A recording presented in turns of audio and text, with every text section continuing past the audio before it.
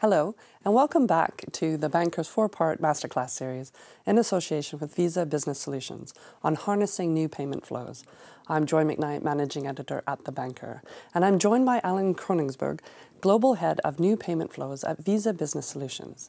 In the second chapter, we'll be looking at the challenges banks and corporates face when making cross-border B2B payments. Alan, thanks for joining me again. Thanks for having me. So can you tell me some of the challenges that you know banks, corporates face on this and B2B cross-border payments? Cross-border correspondent banking, in terms of how it was developed, is over 40 years old. Its thinking was done, its design was done on a bilateral basis, with really the top banks being able to invest and cultivate these large correspondent networks, and often other banks having to work with those banks inherently a good opportunity, a good system, but based on legacy or older technologies.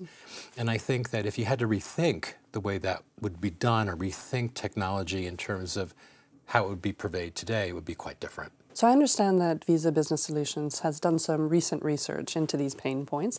Can you tell me about some of the findings? Absolutely. I mean, we've talked to over 480 banks, over 510 corporates, regarding some of the challenges that they have.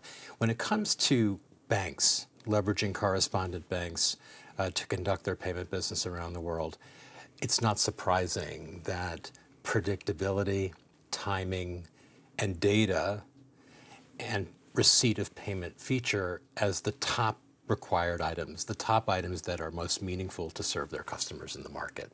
But there's been a lot of debate in the industry about the timing um, and whether real time is really needed in cross border payments.